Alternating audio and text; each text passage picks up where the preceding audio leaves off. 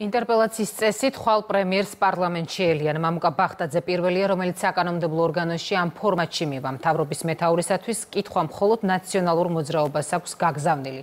რა ინტერესებს ამ გუნდს ნათია სონღულაშვილი გვეტყვის რომელიც პროცედურებსაც გაგვაცნობს. გისმენთ ნათია რამ გამოიწვია ქვეყანაში კრიმინოგენული ვითარების მკვეთრი ზრდა? ასეთი არის ნაციონალური მოძრაობის მიერ ინტერპელაციის წესით დასმული კითხვის ფორმულირება.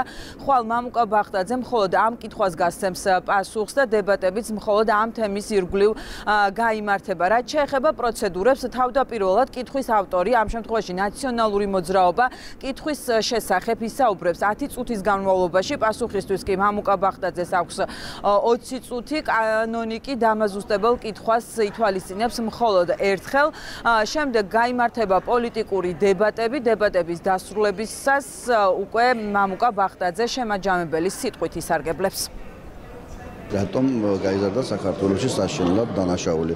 რა იწევს კრიმინალისტებს, როგორ აპირებენ ამ ძიმე მდგომარეობიდან გამოსვლას, აგერ ყოველდღე იძარცვება ბანკები, ხდება ძალადობა, მომწურავი ინფორმაცია უნდა მოგვაწოდოს თავრობა მინდან ინტერპელაციის მთავარი ხასიათებელი იმაშია, რომ არ იყოს გაბნეული საკითხები. პრემიერი წარდგება პარლამენტის წინაშე, სხვათა შორის ამოწევის პარლამენტში ეს იქნება პირველი შემთხვევა, როდესაც პრემიერი ინტერპელაციის წესით წარდგება პარლამენტის წინაშე და ისაუბრებს ინტერპელაციაში დასმულ საკითხზე.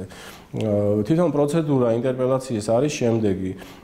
თავდაპირველად სიტყვა მიეცემა შეკითხვის ავტორს, მათ ექნებათ ამისთვის გარკვეული დრო, რათა ახსნა ზოგადად თუ რატომ გადაწყვიტეს ესეთი კითხვით პრემიერისთვის მიმართვა და შემდგომ უკვე ამ კითხვაზე პასუხს გაცემს პრემიერი, პრემიერს ექნება შესაბამისი დრო დათმობილი. შემდგომ უკვე დაიწყება პოლიტიკური ნაწილი ამ პროცესის პოლიტიკური დებატები.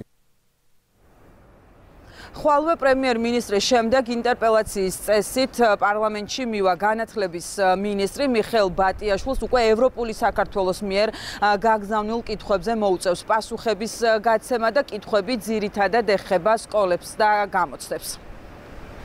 მადლობა ნათია სონღულაშვილს.